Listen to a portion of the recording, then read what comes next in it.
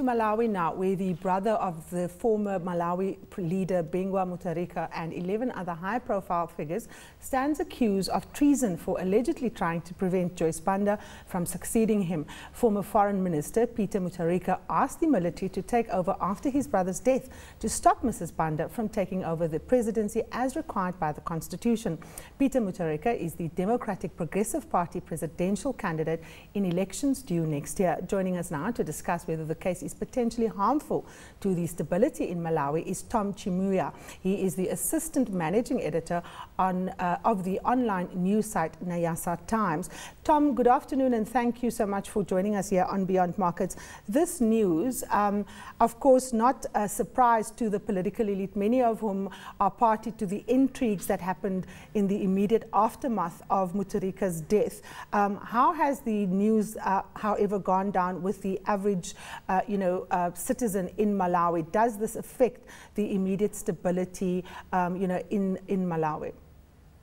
Uh, Malawians welcome the results of the Commission of Inquiry uh, report on the death of former President Bingu Mutharika.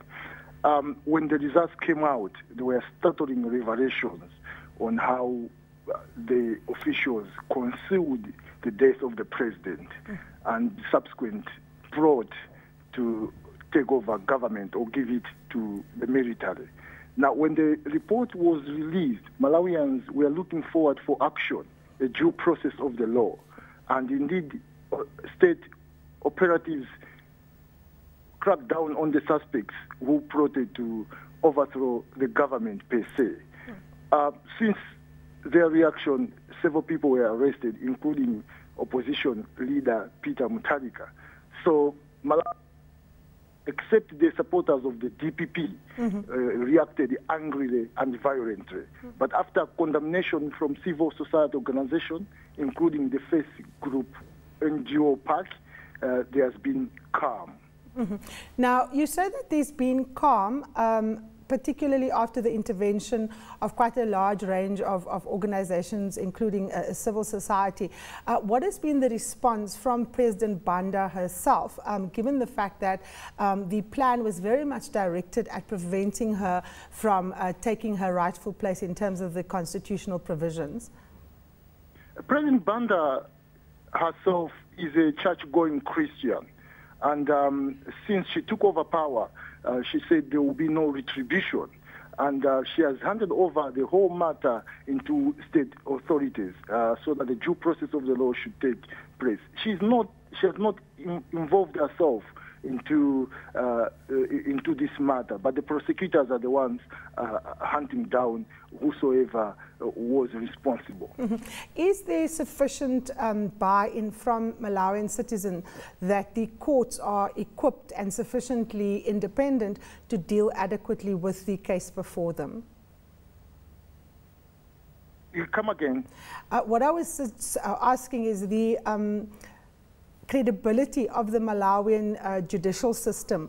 Um, is the system um, regarded as independent? Are they seen as an institution that can actually, you know, take this uh, case forward in a way that's not going to be politically manipulated? Malawi's judiciary is reputably very independent. And um, their opposition, DPP, uh, themselves have acknowledged this when their leaders were given bail by the court treason in Malawi is punishable by death. And being a capital punishment, uh, many people perceive it not being a bailable offense. Mm-hmm. But the judges uh, actually granted bail to, to the suspects. And when they were granted bail, the, the suspects themselves uh, uh applauded the judiciary for uh, being independent. Mm-hmm. Now, of course, Peter Mutharika, very central to the, um, the, the case now and a candidate in next year's election. Um, if he should be found guilty, how is it likely to affect the leadership of the party that he leads and also, of course, his chances of participating as a candidate? Would his party have to go and find a new leader? Political commentators um, and analysts have urged the DPP to have a plan B, a fallback plan in case their presidential candidate is found guilty by the courts. But the party has reacted uh, adamantly, saying no, they will go ahead to feud uh, Peter Mutharika if endorsed by the convention, saying um, history has shown that the electorate elects leaders who have got charges.